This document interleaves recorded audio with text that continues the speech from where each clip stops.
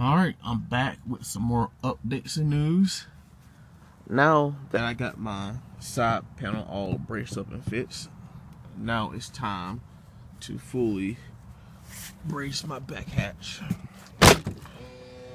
Because if you remember, in one of my videos, I already did the size of my back hatch. But I didn't do the very middle with foam because it was no spot for me to really put it at. So I gotta use a 2x4 or a piece of wood like I did with the side panel to brace the middle of it. The flex is not as bad as before, but the flex is still really bad. Alright, and more updates. I'm going to upgrade all my CCA wire to OFC wire. Some of my wires are already OFC like this one and uh, not that one, but some of them already OFC and I could tell immediate difference when I added that little bit of OFC. So I'm switching out all my CCA wire to OFC. And I don't know if you can see down there, but if you remember, I got that Mechman 240 alternator like a year ago, and it is still kicking butt. I love the alternator. If you want a good alternator, get Mechman. I promise you, they won't upset you. Um, but anyways, let me show you the flex video and show you how bad the back hatch is still flexing. But not as bad as before though, but still bad. All right, here we go.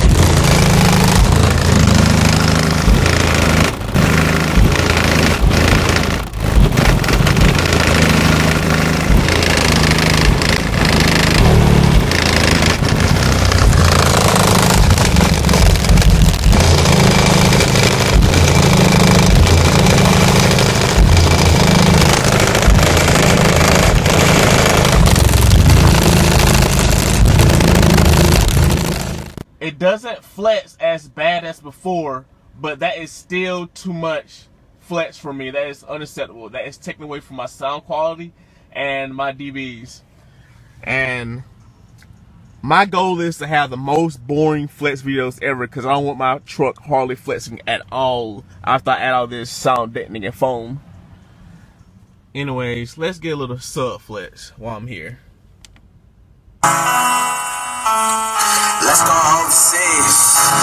You know, talking about all this? She put a reverb on.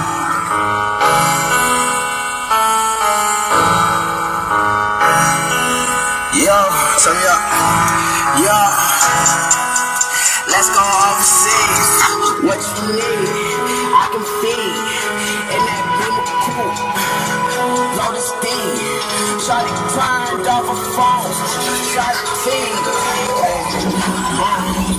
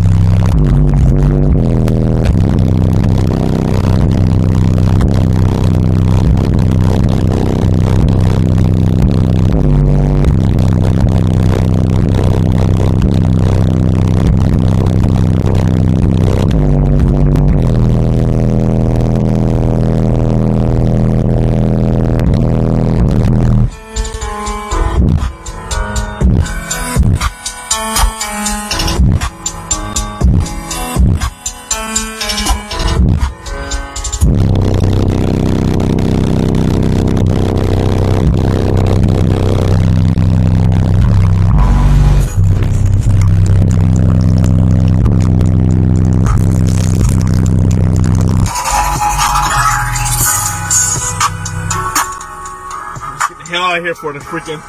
I see the mall security. I see the mall security come around the corner. Let me, let me get the hell out of here. But anyways, y'all get the picture.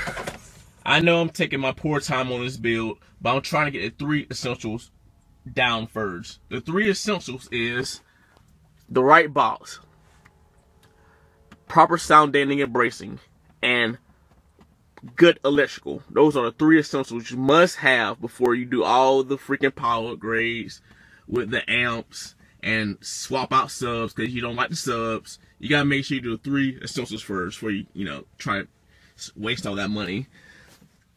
And if you've been following my channel, this is my third box I made for 218s. My third box, my first two boxes was like crappy, and I finally nailed it with my third box.